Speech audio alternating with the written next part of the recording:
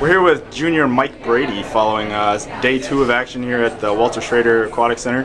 Uh, Mike, you took uh, third in the 500 freestyle uh, race. Uh, just talk a little bit about. Uh, How we doing? just talk a little bit about uh, the race today and taking third. Yeah, uh, five free.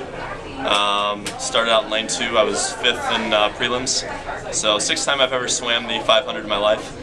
Uh, and the second ever conference event. So this is my first year at conference. So uh, fun race. Waited a little, uh, a little late to go. I think I was seventh with 200 yards to go, but uh, the sprinter in me um, pulled out uh, third place. So really happy about that. All right, congratulations. And then uh, obviously. Uh, kind of the big story, it seems like, of the meet so far is you guys are up pretty big after two days of action here. I think it's 50 points if I saw the results yep. correctly.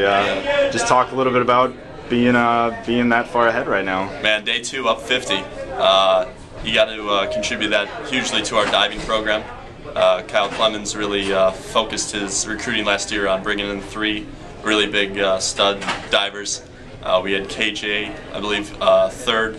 Um, we had Lee fourth, and Andy just just got out dove, I should say, in ninth place. So that's a huge boost to our program. Uh, day two is a big day for Cleveland State, uh, our main rival. Uh, they're a very sprint ori orientated group, so um, to be 50 points up at this at this point is a huge confidence booster for our team. All right. Well, thank you very much, and good luck the rest of the way. Thank you.